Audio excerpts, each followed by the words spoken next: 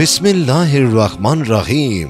शुरू अल्लाह के नाम से, जो बड़ा मेहरबान और नहायत रहम करने वाला है। विकीपीडिया टीवी के मोहतरम अज़ीज़ दोस्तों अस्सलाम वालेकुम मोहतरम नाजरीन, आज की इस वीडियो में हम पेश करने जा रहे हैं एक ऐसा दिलचस्प वाक्य, जिसे सुनकर आप हैरत में पड़ जाएँगे। ये वाक्य है सरकार वारिस पाक के बचपन की करामात का कि जब एक दुल्हन डोली से गायब हो गई और फिर वापस कैसे आए इस वाक्य को मुकम्मल तौर पर समझने के लिए इस वीडियो को एंड तक ज़रूर देखें। मोहतरम नाजरीन, एक मरतबा का ज़िक्र है कि सरकार वारिस पाक रहमतुल्लाह अपने घर में मौजूद थे। उस वक्त उनके पड़ोस में एक घर में एक शख्स की शादी थी।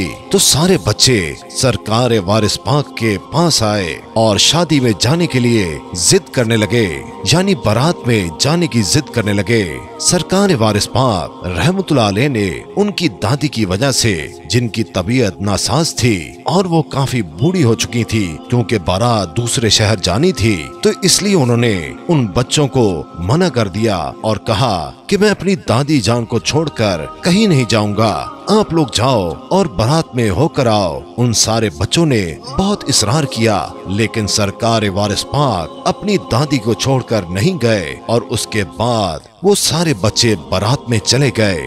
दूसरे दिन जैसे ही दूल्हे वाले दुल्हन को डोली में बिठाकर घर लाए। तो सरकार वारिस पाक रहमत के साथ वाले बच्चे, वो वापस आकर सरकार वारिस पाक के पास आए और उन्हें साथ लेकर दूल्हे के घर पहुँच गए। उन सब के दिल में खलिश थी कि हम सबसे पहले दुल्हन को देखें। तो सरकार वारिस पाक रहमत बच्चों को लेकर दूल्हे के घर के बाहर पहुँच गए। जैसे ही दुल्हन की डोली दूल्हे के घर के पास आकर रुकी तो सरकार वारिस पाक रहमत और उनके साथ वाले बच्चे डोली के पास गए। दूल्हे की माँ, जो कि उस वक्त गुस्से में थी तो जैसे ही उसने उन सारे बच्चों को देखा, जिसमें वारिस पाक रहमत अले भी मौजूद थे तो वो उन सारे बच्चों को देखकर कहने लगी, तुम यहाँ क्या कर रहे हो? यहाँ बच्चों का कोई काम नहीं है। जाओ यहाँ से दूर हट जाओ। तो उन बच्चों ने, जो सरकार वारिस पाक रहमता अले के साथ थे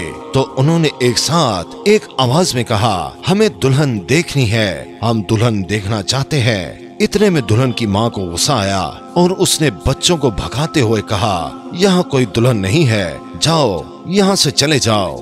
बच्चों ने डांट सुनी। तो सरकार वारिस पाक रहमत आले को लेकर चले गए।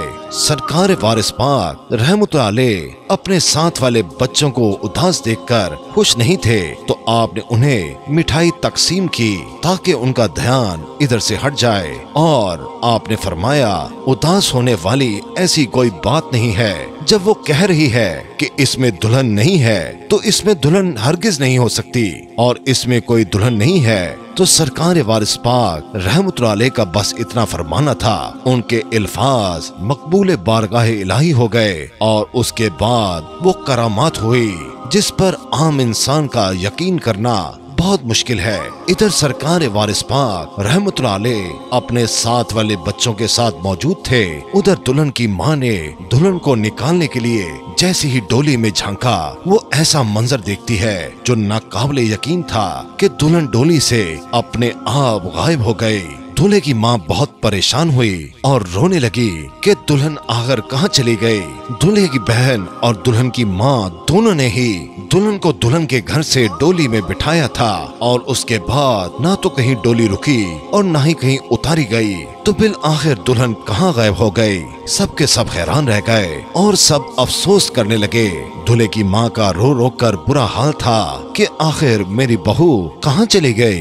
दुल्हन के यूँ अचानक गायब हो जाने से खुशी का माहौल गम में बदल गया। सब लोग रोने लगे। सब लोग ये समझ नहीं पा रहे थे कि आखिर दुल्हन कहाँ गई? हमने कहीं रास्ते में डोली भी न रोकी और हमारे साथ वाली औरत ने भी दुल्हन को डोली में बिठाया था तो फिर आखिर दुल्हन गई कहाँ? सब लोग अभी यही सोच रहे थे कि आखिर दुल्हन कहाँ गई। उनमें से एक शख्स निकला और कहने लगा, कहीं ऐसा तो नहीं कि हमने उन बच्चों को भगाया और इस वजह से ऐसा हुआ। तो वहाँ पर मौजूद बहुत सारी औरतें, सरकार वारिस पाक, रहमतुल्लाह अलैह को जानती थीं और हज़रत वारिस पाक, रहमतुल्लाह अलैह का नाम मिठन रखा गया था। क्योंकि आप बच्चों में मिठाई तकसीम किया करते थे। इसी वजह से आपका नाम मिठन हो चुका था। जब उन औरतों ने सुना कि यहाँ से बच्चों को भगाया गया है तो उन औरतों ने एक साथ बोला कि बच्चों में मिठन मियाँ भी मौजूद थे। तो दुल्हे की माँ बोली, जी हाँ मुझे नहीं पता था कि ऐसा होगा, लेकिन मैंने उन बच्चों को भगा दिया। मुझे लगा कि ये आम बच्चे हैं। सरकार वारिस पाक रहमत की बुजुर्गी बचपन से ही बड़ी मशहूर थी और बचपन से ही आपके अखलाक और तौर तरीके को देखकर लोग ये जानते थे कि आप अल्लाह के वली हैं। बहरहाल, सब लोगों ने मशवरा किया कि क्यों ना मिठन मियाँ, यानी सरकार वारिस पाक के पास जाया जाए और शायद वही कोई हल बता सकते हैं, वही कोई तरकीब बता सकते हैं कि आखिर दुल्हन कैसे वापस आ सकती है। सब के सब बाराती दूल्हे माँ और सब लोग सरकार वारिस पाक रहमत को ढूँढने लगे। सब लोग इकट्ठे होकर सरकार वारिस पाक रहमत के घर पहुँचे। तो सरकार वारिस पाक रहमत अपनी दादी जान के पास जलवा अफरोज थे। उन सब लोगों को देखकर आप रहमत की दादी जान घबरा गई कि आखिर ऐसा क्या हो गया है? कि सब लोग अचानक हमारे घर आ गए हैं। तो उन्होंने दरियाफ्त किया कि आखिर क्या बात है। तो उन बरातियों ने और दूल्हे की माँ ने सारा वाक्य बयान किया कि इस तरह से हमारी दुल्हन गायब हो चुकी है। आप अपने लाडले पोते से दरियाफ्त करें कि यही अब कोई तरकीब बताए। जैसे ही आपकी दादी जान ने यह सब सुना तो आपकी दादी ने आपसे फरमाया कि अब इनके लिए कोई हल बताइए। ये लोग आपके पास आए हैं ताकि कोई तरकीब मिल जाए।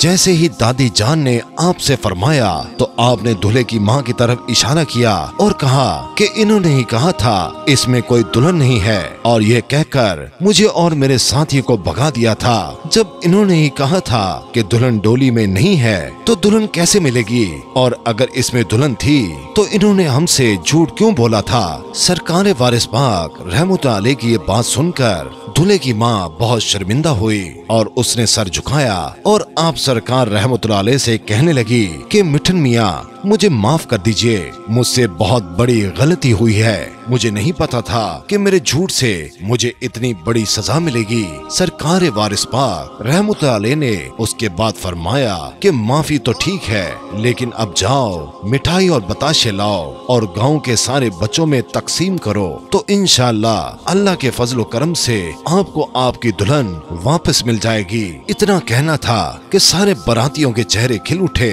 और वो फ़ौरन बच्चों के लिए मिठाई और बताशे लेने पहुँचे। और जैसे ही उन्होंने मिठाई और बताशे बच्चों में तकसीम किए, उसके बाद जैसे ही वो लोग डोली के पास पहुँचे तो दूल्हे की माँ ने डोली के अंदर झांका। तो वो क्या देखती है कि अंदर दुल्हन मौजूद है। जैसे ही दुल्हन को देखती है तो उसका चेहरा खिल उठता है। वो सब लोगों को बुलाकर कहती है कि दुल्हन वापस आ गई है। और उसके बाद दुल्हन की माँ कहती है कि वाकई, मिठन मियाँ ने सच कहा था कि दुल्हन वापस आ जाएगी।